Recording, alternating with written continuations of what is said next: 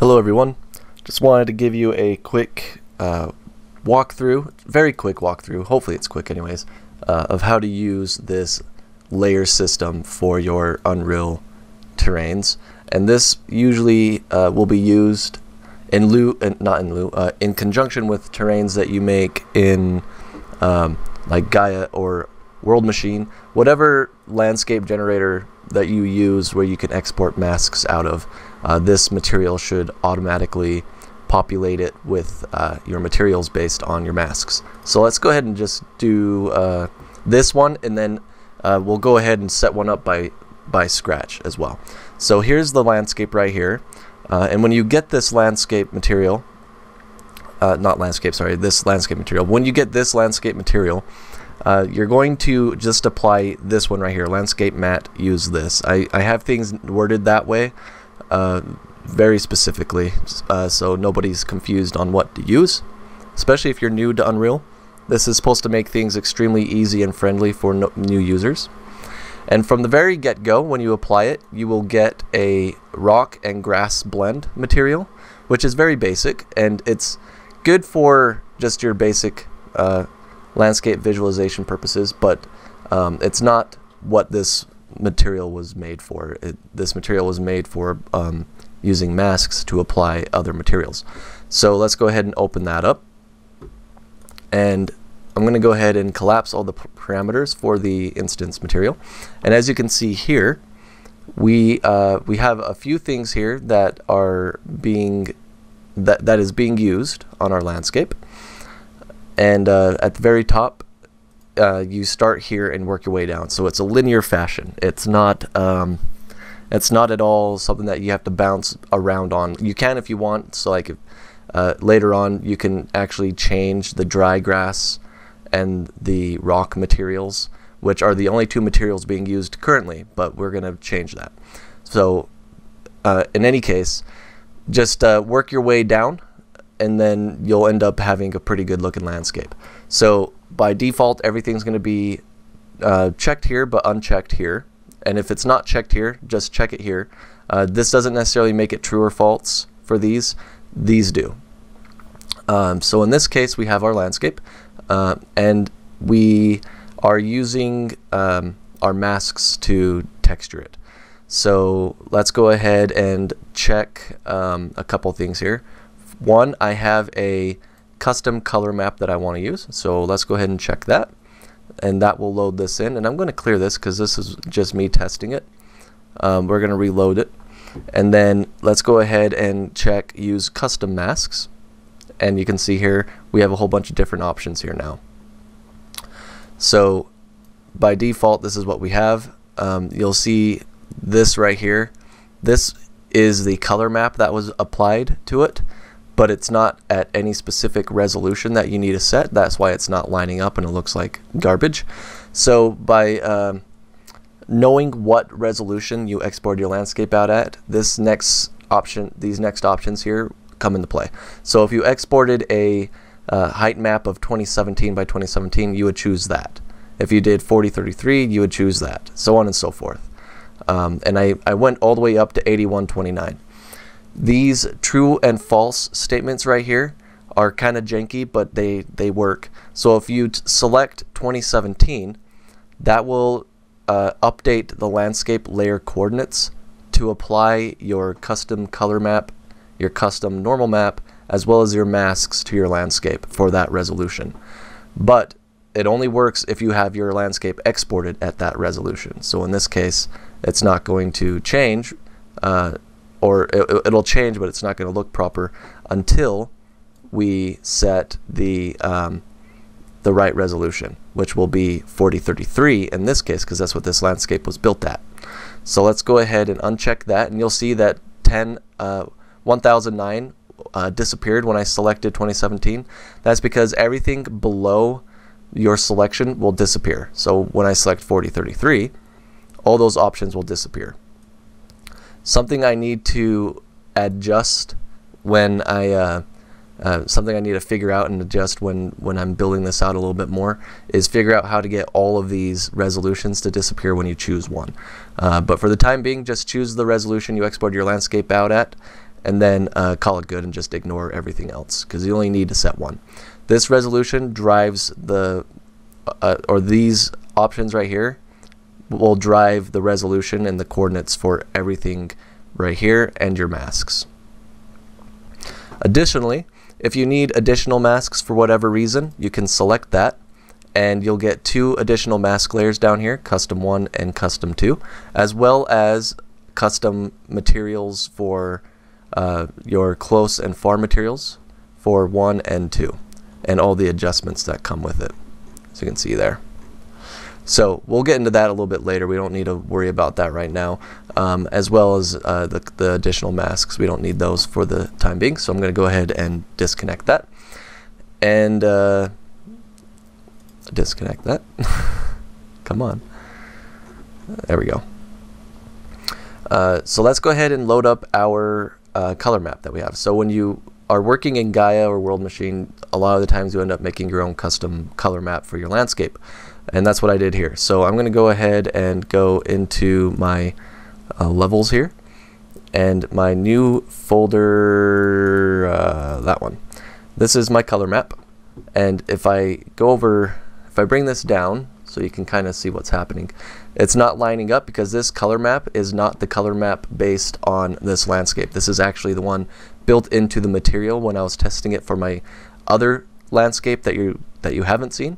So I'll go ahead and assign this material right here, or this texture to this landscape because that's one that belongs. And you'll see that everything lines up now. So we have our snow where the snow should be, except for in some other areas, which again is being driven by the other uh, landscape materials that are kind of built into the ma material. That will go away when this ships. Uh, it'll all be set to blanks, so when you load it up, you load up your own uh, mats or your own textures and masks. Uh, but for now, the uh, the actual material is uh, landscape color map is lining up properly. So let's go ahead and load up the normal map as well. So that's the normal map there. So oh, if I bring this down and let you guys see it, hopefully it'll update in real time and you can see it. And it did. So that works and it's mapping properly. So let's go ahead and look at these now. So we have a dirt mask, a stone mask, a rock mask, and a snow mask. And this is why I have additional masks for you that you can use because um, uh, these are going to be renamed eventually. But the way the layering system works is you kind of have to know what's what. Uh, or you have to go into the uh, material and you, the the master material and change things around and that could potentially break things and I don't want that I want I want this to be as simple as possible so for now um, what's going to end up happening is each mask has each mask has a name and material assigned to it. So this one will always be dirt, this one will always be stone, rock, and this one will always be snow. You don't have to worry about grass because the grass is being uh, implemented via the auto landscape side of it. So the rock, the uh, the rock on the cliffs and the grass off of the cliffs is already going to populate, so you don't need to worry about the grass. That one's taken care of automatically. But you still have control over changing the texture for it uh, for the time being. Maybe I'll implement more controls for that in the future, but we don't have to worry about that right now. Uh, so what do I want my dirt mask to be? Do I want it to be the deposits, the flow? Those two are usually the best ones to choose when it comes to dirt. So I think in this case I'm going to choose flow for the dirt mask. So let's go ahead and apply that. And uh, you may have noticed a small change, but nothing much yet. Uh, I'm going to go ahead and set all of these to 1 as well, because that I'm going to change that around, and you'll see that even when I change those around, this already updated to look a little different. And let's go ahead and um, make sure that we don't have another resolution checked in here. It shouldn't if you do have multiple resolutions in here checked, it should default to the last one in the list, but I just wanted to make sure. Uh, now we need a stone mask, and I'm going to go ahead and use the deposit for the stone mask. The rock mask will be the wear mask. And then the snow mask will obviously be my snow mask. And I exported all of these out from Gaea and as you can see here it's all lining up nicely now. And I, all I had to do was select you know a few different options here and then assign masks and materials here. And now I'm done. My landscape is um, textured completely and I don't have to go through and manually paint anything in because it's all being driven by the masks. Uh, you still have the option to go through and paint everything because we do have uh, blending uh, layer blends so you can go to paint and you have all the materials here that you can still paint. Um, so you still have that option but you don't have to. So um, say we're done and we can call it good. We can start populating our landscape around and with rocks and foliage and uh, making our scene in our game. And it only took maybe two or three you know minutes of without explanation for you guys just so you know what's going on. It, it only really takes like two or three minutes to get it all going. But say you need a, a little more fine control over your mask so like right here we have this dirt line. That's from the flow. Um, let's say we needed to um, enhance that a bit and change that around. Well we do have um, the strengths of the masks built in right here. So let's go ahead and look at the flow mask here. I can increase the strength by just uh, changing the value here and that will update. Uh, and if we can go higher, you can see how that's really changing now. So now our landscape has a lot of variation. We have dirt in the ridges and crevices where the flow mask is present. And that looks pretty good. That gives us additional um, texture variation and helps break up the tiling a bit more, which that already, the material already has that built into it uh, as well. So you're not going to get a whole lot of tiling from the get-go. I'm just going to go ahead and smooth some of these shadows out because they look horrendous. Um, I'm not going to worry too much about the back area there, but right in this area we will. Alright, so uh, let's get out of this mode. Uh, there we go. So now we have dirt and grass. Uh, and then we also have like a green grass and a dry grass blending together as well. Uh, and we still have our rock on our slopes and um, everything's blending in nicely. So that's just the flow mask. My mouse button is almost is also broken by the way. I don't know if I've mentioned that or, or not, but it is indeed broken. So I need to, sometimes it doesn't work when I'm trying to move around. I'm going to kind of smooth these out a bit more as well. Too much little things going on there. It's creating some bad harsh shadows that I don't like. Okay. Um, and then you can just drop yourself in the game and play around. Uh, it's all game ready, so uh, it all works out pretty well. Now you can see the flow mask being implemented there, um, but we have additional masks we can look at. So let's go ahead and bring in bring up the strength on these other ones. So we have the uh, deposit map here and the deposits are going to be mostly down in this area because that's where the flow brought all the sedimentation down and uh, that's where it kind of came to rest.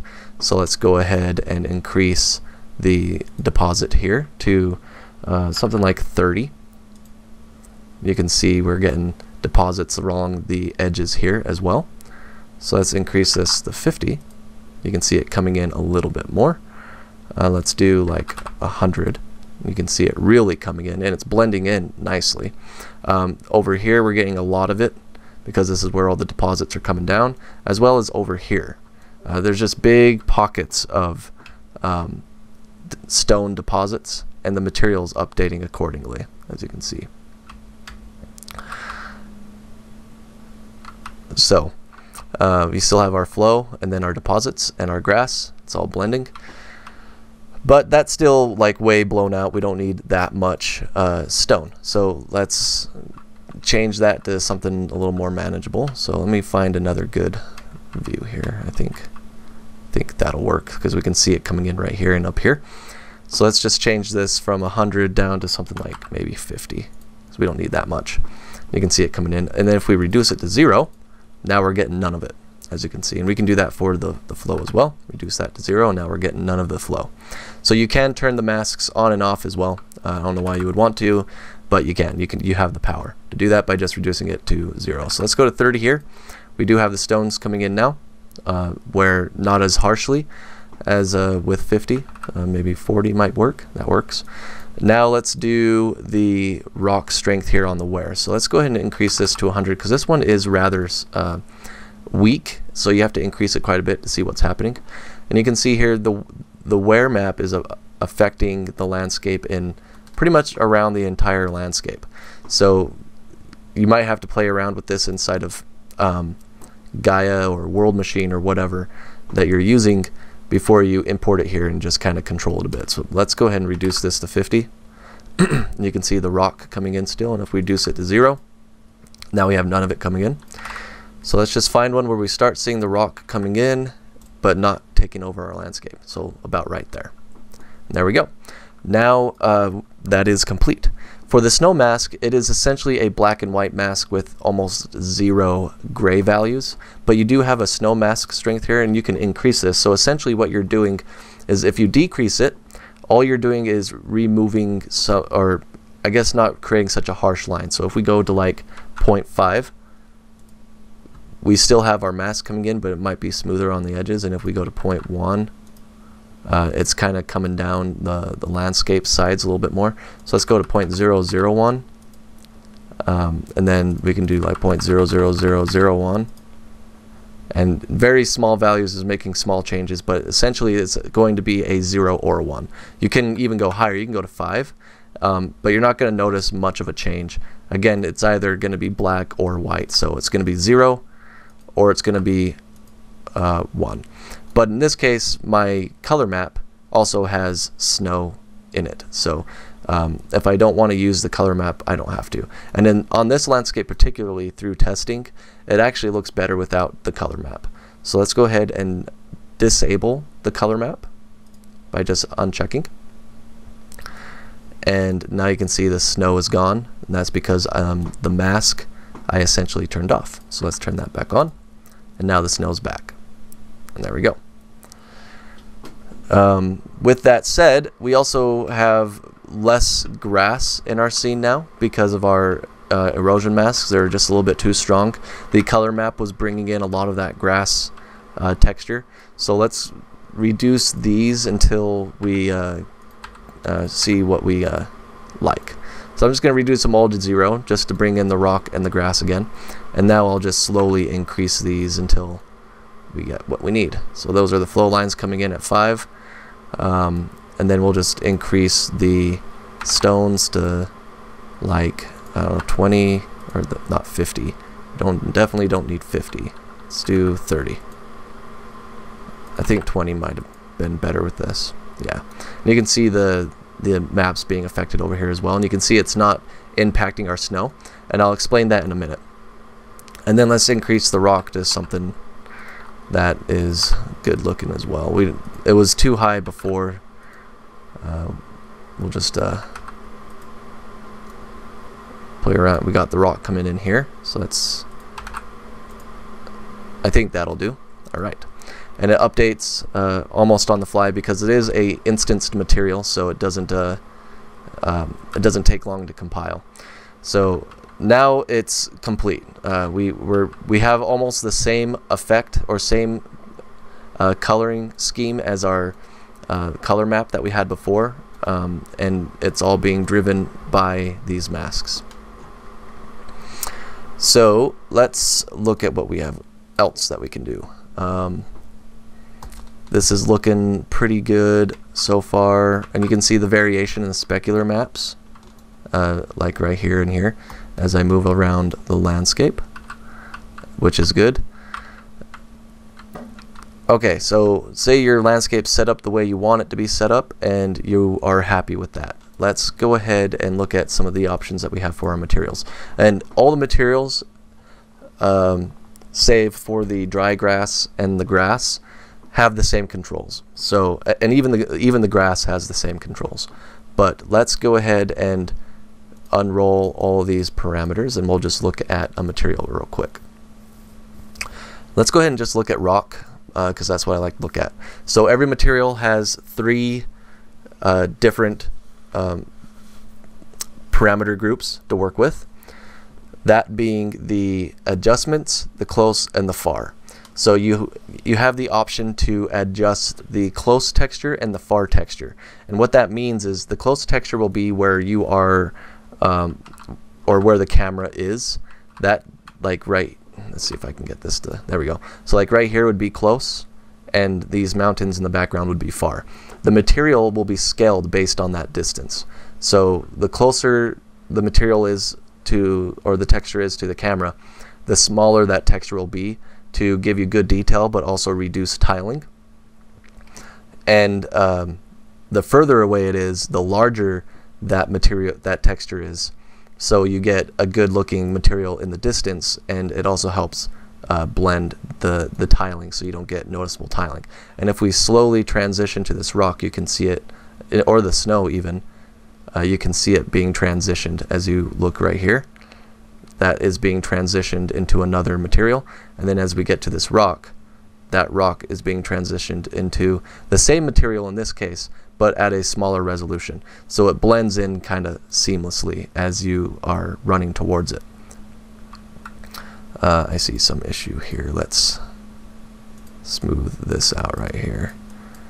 Um, I do have triplanar projection. So uh, on the edges of your landscapes or, on the sides, you shouldn't get much texture stretching. Um, but every once in a while there is some texture stretching uh, because it's not a perfect triplanar. It's kind of just like a cheap option to use, but it, it works most of the time. So, uh, plus that was super stretched. There's there's going to be nothing that would have fixed that. Uh, but they are triplanar stretched or triplanar mapped, so uh, they, they everything should look good on the on the on the sides. So, uh, but that's what that does. So the adjustments is what controls that. So if we look at the rock adjustments, we see the rock far close blend range and the rock far close starting point. So what this is saying is that uh, the starting point for where the far and the close materials kind of merge together. That's set to 5,000. And then if the blend range is high, that means that transition from that merged zone has a fall off. So it blends nice and smoothly with each other rather than having a sharp cutoff. So if I were to go back up here and remove the custom maps and just stick with the two layer blend between the rock and the grass, I can help show you what this is a little easier. I'm going to bring the landscape slope, which you have control over as well. I'm going to bring the values up to, I believe I want 30, and then I want this fall off to be like negative 20. There we go. Now we have mostly rock instead of grass, so we have all this rock material. Uh, let's roll these up. Uh, let's roll all of them up and get the rock adjustments and the rock close and far materials up. And another nice thing about this is you can have one material for a rock here for the close material and have a completely different material here. Uh, so you don't even have to stick with the same rock material. It would make sense to because you want it to be blended seamlessly together. But if you wanted like a purple rock here and a red rock back here, you, you could have that. Um, you, you have total creative freedom to make as many weird and trippy psilocybin scenes as you want. So um, you're not limited by by anything here. Okay, so let's go up to the adjustments and let's reduce these to zero and then I'll just start from scratch. So as you can see here, as I reduce that, we get some nasty texture going on in the front here because we have a large texture here and it looks good in the background still. That's because that's what it was scaled for. Um, and you'll also notice that there's no really good visual or visual visible tiling. I, the variations built into the materials uh, does a really good job at hiding the tiling. So let's start with the starting point because this is what we want to we want to know where exactly that starting point is going to be. Now I can tell you right now, in most cases, this is going to be a negative number. It'll almost never be a positive number. And the reason for that is because the math inside of the material uh, makes it so. It's using multiplication in a lot of places. Uh, so you have to use the starting point set to uh, a negative value. Uh, so in this case, we're going to go ahead and do like a negative 2000 and see if we can see that harsh cutoff. Yeah, right here. So that's almost directly below us. As you can see here, that is the start point right there. Now we have this smaller material and we have that larger material. Now the blend is going to take this starting point and it's going to fade it so it blends more smoothly from one material to another. So this will almost always be a positive number. So let's do a thousand and let's see how much that blends it. So blend it quite a bit. Um, we, we don't have such a harsh transition now, but it's still pretty harsh there. Uh, so let's go ahead and increase this to something like uh, 10,000. And you can see that blending pretty nicely uh, at this point. So um, this is something that you're going to have to play with to get the results that you want. And uh, you can spend a lot of time doing this, but I can just tell you right now that the values that I found that work pretty well, that gives you a pretty good natural transition, is a starting point of 5,000. So it starts a little further away from you and the camera, and a blend range of 5,000. Uh, that for the the movement speed of your character in game, that seems pretty good and natural. But you can play with it and do whatever you want.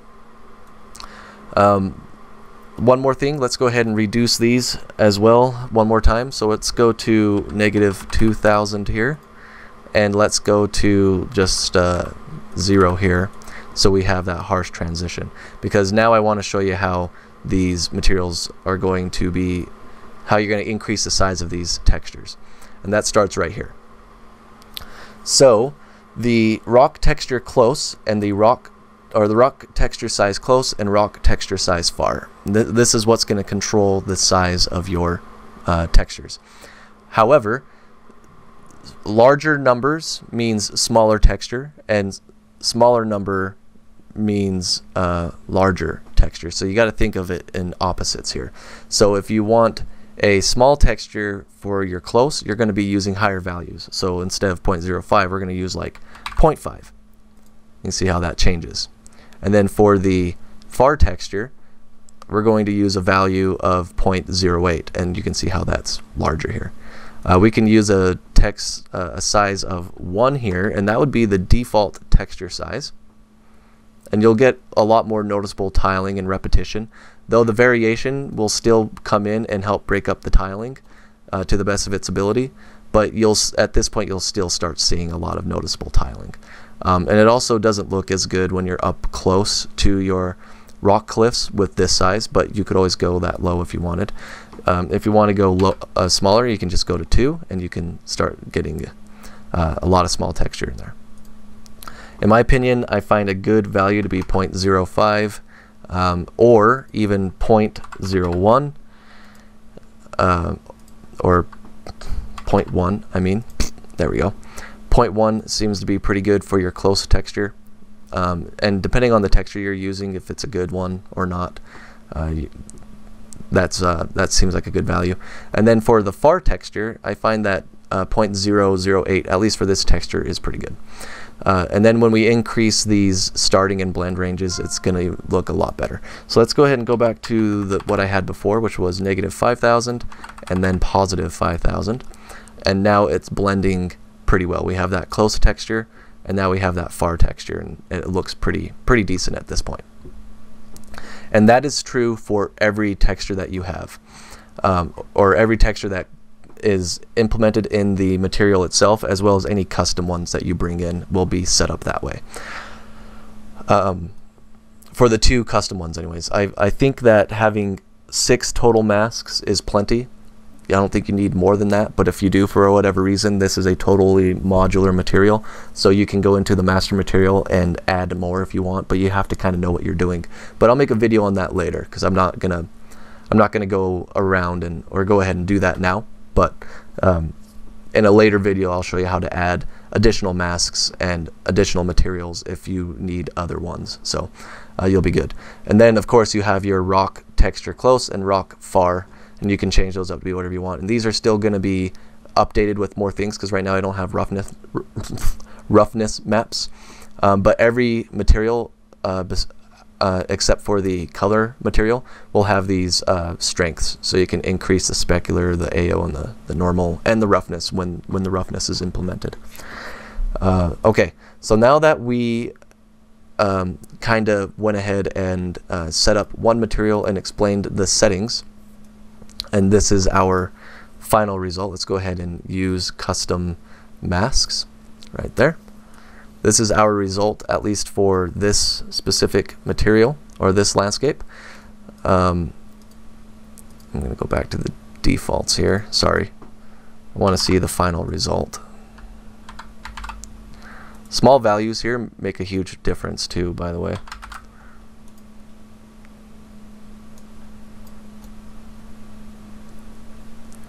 Okay, so that's looking pretty good. This is a a material being applied by a mask, so we're not going to get much grass on the slopes. Um, that's what we ended up with.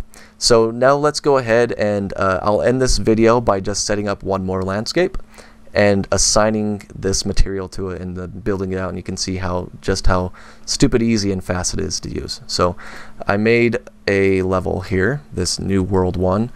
I let's go ahead and open that up and I'm not going to save anything here because this actually isn't going to be shipped this scene right here isn't actually going to be shipped with it. It's going to be the one that I was working on originally. Um, so I'm not going to worry about that. And let's go ahead and add a directional light. And uh, we'll make it movable, I suppose. We don't doesn't really matter right now. Let's add a skylight. Let's go to visual effects. We're going to add a sky atmosphere. And we're also going to add a exponential height fog. And let's go to our directional light if you if you don't have the advanced options open for your uh, your light options here, go ahead and unroll that and select atmosphere, fog, sun, light. And now our light, sun will interact properly with that new sky atmosphere model. All right. Now let's uh, go to modes, landscape, and we're going to import from file. And I'm going to go ahead and import a new one that I built just recently just for this and it's going to be this snow final. And let's go ahead and import.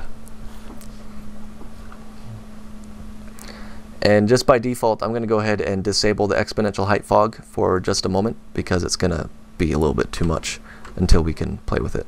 So this is a, another landscape that I made just to show you guys how simple it will be to set up but it comes in kind of flat uh, into Unreal. So what we need to do is uh, go to our landscape and in the scales here, I need to increase the Z to something like 250.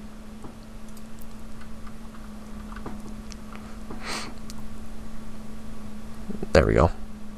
Now that should, stupid mouse, now that should give me the proper size. So when I come down here and look up, we can see we got a mountain scape uh, with some edges and cliffs and whatnot. And this really flat area up here is all snow. So this is the snow uh, erosion, um, and that's the snow model being uh, implemented. So um, maybe we'll go a little higher. Let's go to 270 just so it has a little bit more height variation. We don't want too much because we do have these tiny cliffs right here that we don't want to kind of blow out of proportion. All right, so we have our landscape. Now, just like before, because I was working on it, showing you guys how it's working, um, how it works, I'm going to have the old masks applied to it. So let's go ahead and apply the landscape material here. Let's open that up. And before we do anything else, we need to uh, go back to the levels new folder and I need to bring in my materials, uh, my, my masks and whatnot for this. So it's going to be here and I need to bring in the color map, erosion, erosion, erosion, normal, and snow. Bring those in. And I'm going to show you one more thing while those are being imported. There we go. Now I should import them. Yep, that's importing. See it down here. Alright, one more thing to show you before we get started is your masks. Let's go ahead and open up all of these.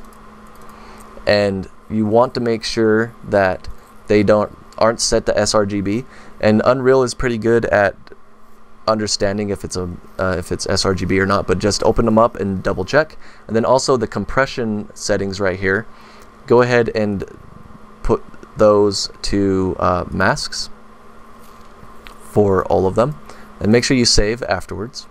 So uncheck sRGB for your masks. Any grayscale maps always come in here and uncheck those even for textures and whatnot and then just uh, for these specifically set them to mask and uh, mask and the last one right here will be mask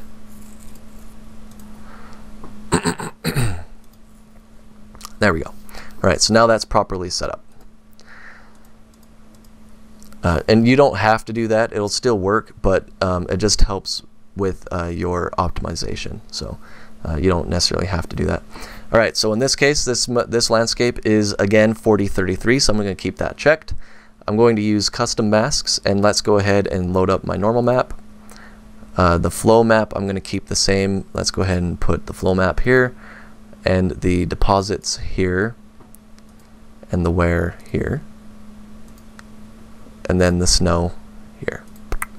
And now it lines up. Nice and proper, and now we have materials where the materials should be. Alright, and let's go ahead and load up our custom color map as well. So let's choose that and bring that in. There we go. Uh, if you think that the custom color map is just a little too bright, um, you can always color correct it in a different program or uh, remake it inside of Gaea or World Machine or World Creator or whatever. But what I do is I just go into the color map here and I just reduce the the brightness here to about 0.6 and that gives it a little bit more dark tone to it or we can even do like 0.5 you can go lower it doesn't really matter um, and then it's not really going to affect the snow in this case because your snow mask is covering that up. So all you're really doing is increasing or decreasing the brightness for your grass and rock. So that's it. That's how simple it is. So now we have all of our materials being assigned properly where they should be assigned. Um, and there's absolutely nothing else that needs to be done, at least in this case. Uh, you can be as um, nitpicky about it as you want, really. So the the main thing here is if you make good masks uh, within uh, Gaea or World Machine or your terrain generator. So the better your masks are, the uh, the more likely it is that you're going to um, have good looking materials. So just keep that in mind. And I need my uh, I need my exponential height fog to be here. Let's reduce these. And where's my, uh, where is the gizmo? Oh, I need a, there we go. Let's see if we can find the gizmo now. It's going to be here by me, yeah. Alright, so I just want to set up a really just kind of good looking shot here real quick before we do anything.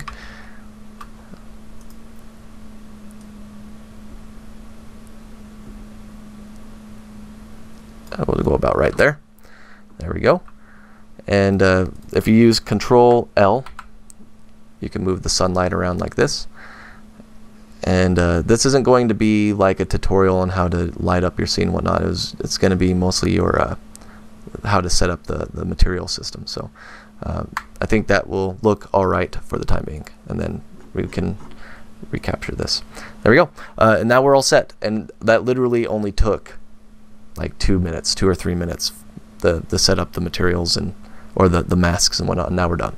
So if you have any questions. Um, or if you have anything that you want to have added to this, please let me know. I hope you uh, support my efforts by purchasing this. I uh, in the past I offered a lot of stuff for free, but I uh, I'm really going to start pushing for a more monetary system. I need um, assistance with uh, money and whatnot. So uh, I don't want to beg, but if you find that you'll end up using this quite a, quite a bit, or or if you want that kind of freedom to use your materials uh, attached to masks, this might be your solution. Uh, just hit me up with uh, anything that uh, you want to critique on it, and then I'll see what I can do. So thank you for watching, and I will see you in the uh, the next video.